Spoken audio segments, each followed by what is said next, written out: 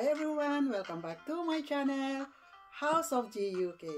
Today's video is all about um, decanter. Um, so we are going to have a question and answer um, video about the decanter. I will be asking and my husband will be answering my question. So tell me what is a decanter? Oh, Well, a decanter is, is a, a container for wine and spirit. Um, usually glass, but it doesn't have to be glass. made of glass you mean? Sometimes, usually, uh, but not always. Okay.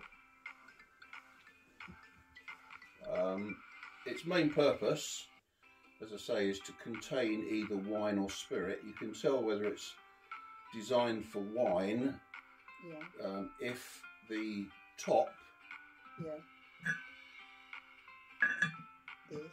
is uh, the glass for the top and the inside of the neck are ground. Yeah, this. So if you take the, the port one out, well, and compare it, show it to the, the other one, you can see that the one that came out of the port decanter is ground. Yeah. You can see the difference in colour, whereas the other one is plain. Okay. So the uh, the ground glass ensures there's a better fit and is usually used as well as something like port Yeah. is used in spirit decanters This. like the two square ones yeah. here Yeah. um, and the reason is to give a better seal so that the spirit doesn't evaporate Okay. Okay. So my next question is, uh, um, is there any specific shape of the decanter to be used for a like specific um, spirit or alcohol? well the, the square one is is often used for spirits This, yeah. um, I don't know why but it, it tends to be the shape that spirit decanters Yeah. uh, come in. The one in the little um, uh, stand there, the port, port decanter. Yeah. The the port decanter um, is in a stand. Um, I'm not even sure why, that what the history of that is, but um, it does look nice. So who cares? Yeah, I like it. who cares? Yeah. and the one with the very large bottom is called a ship's decanter and it has that shape because it used to be used on sailing ships usually on the captain's desk or table dining table Mm-hmm. and it has a very wide base so that it doesn't fall over as the ship Yeah. is going through the waves through the sea Uh, yeah. Okay, very stable. It doesn't move. Mm. Okay. And how about this? This That one is a, simply a wine decanter. Um, wine used to be decanted, red wine especially, used to be decanted so that the that the um, dregs of the winemaking process, Mm-hmm. which more often occur in uh, red wine, Mm-hmm. Would be left at the bottom of the bottle and the clear wine could be poured carefully into the decanter. Um, these days, unless it's a very, very expensive red wine, the wine is so clear that it doesn't need to really be decanted. Although decanting does also um, add air to the wine as it's being poured into the decanter. Although, again, with most red wines these days, you don't need to aerate it because um, of the way that the wine is made. Oh, okay. Okay. Um, another question is, um, uh, you don't have to to to put a white wine in a decanter. Why is that? Well, I suppose historically, because it was usually much more clear, it didn't have the same sort of um, deposits at the bottom of the bottle. Oh, okay. And also, normally it would be kept chilled anyway. Oh, okay. Um, so you don't really want to put a decanter into a into a bucket of ice. Okay. So whatever you put in a decanter doesn't need to be chilled or cold. Um, well, the sort of stuff you put into into a decanter. If you want it cold, for example, whiskey Yeah. in the, the square one. If you want the whiskey cold, you put ice in it.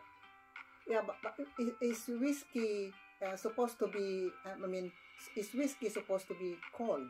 No, it, it's all a question of taste. Ah, okay. So it's up to you. Some people want. prefer not to have ice in whiskey because they think it waters it down as the ice melts. Oh, okay. Okay. So, okay. So, and this is a, um, this is not a decanter, yeah? That's an aerator. This is an aerator. When I said earlier about um, it used to be the case that you needed to mix air, get air into the red wine to make it uh, realise its full flavour. Yeah.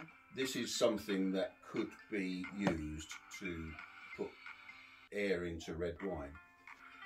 Um, it works a little bit like a car's carburettor in that it simply, simply mixes air as the the wine goes through it. It mixes, picks up air and, and puts air into the wine.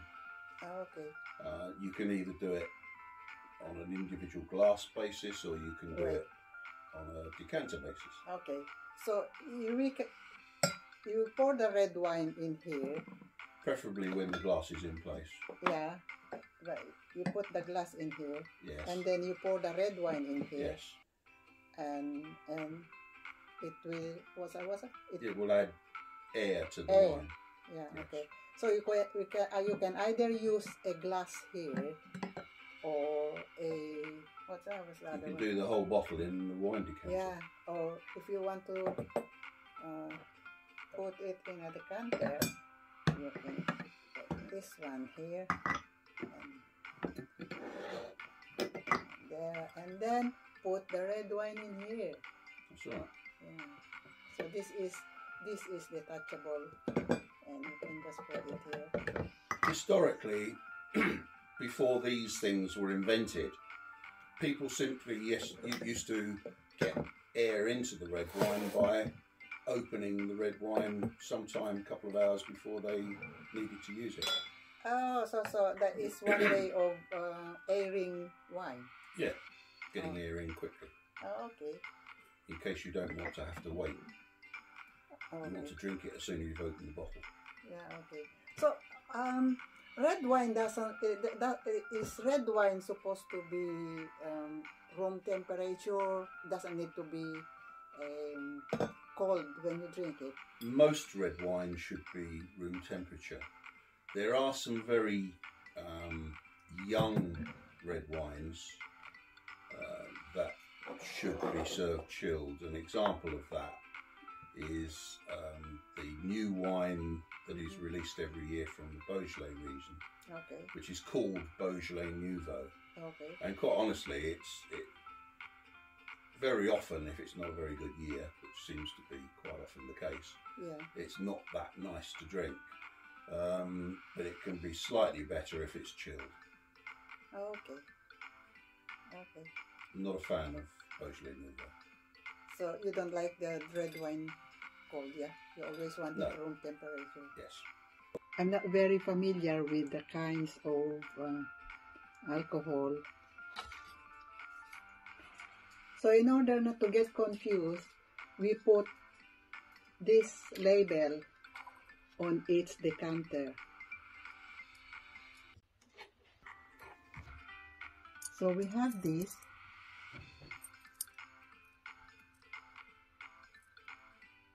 For uh, on whiskey.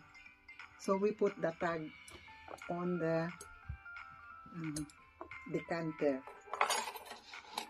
So this one is uh, cherry. So I put cherry on it.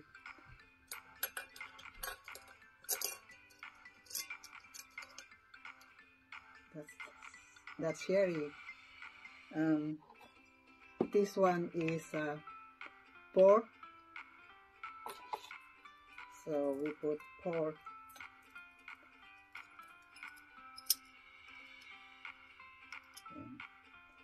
And this one is whiskey.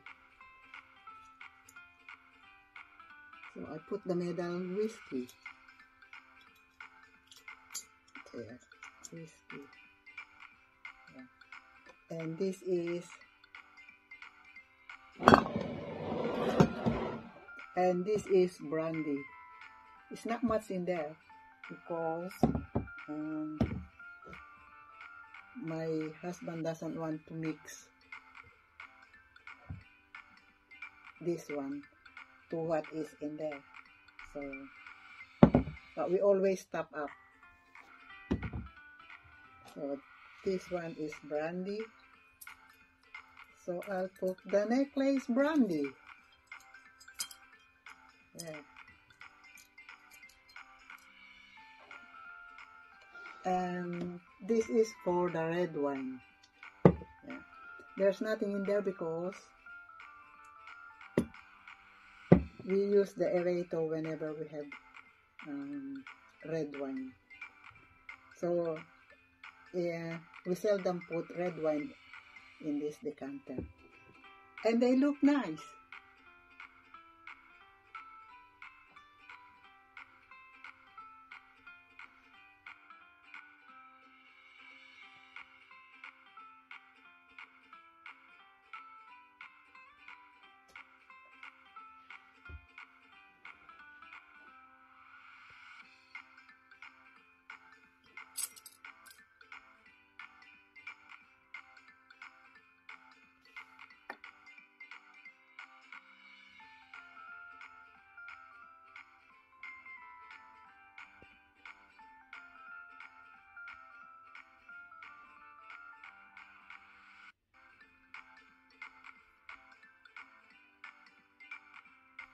So thank you very much for your um, answers for my question about It's it's about the decanter. My expert subject, alcohol. Yeah, because he he he drinks, he travels, he got all the experience about alcohol. So that's all for today. I hope you like my video.